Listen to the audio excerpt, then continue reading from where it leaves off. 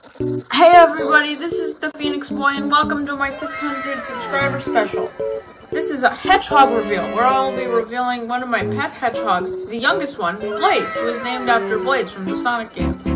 She's kinda grumpy, she kinda follows after her dad.